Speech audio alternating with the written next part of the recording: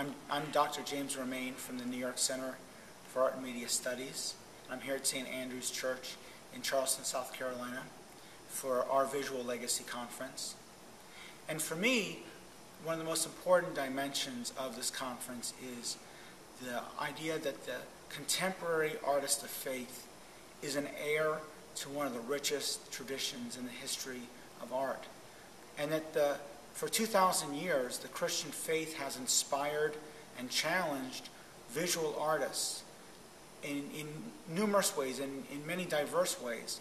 And that artists of faith working today can draw on that past and can transform that past. The artist of faith today has a responsibility to keep that tradition alive, but also to renew that into the contemporary moment and to speak into the contemporary human experience from the wealth that they draw from that history.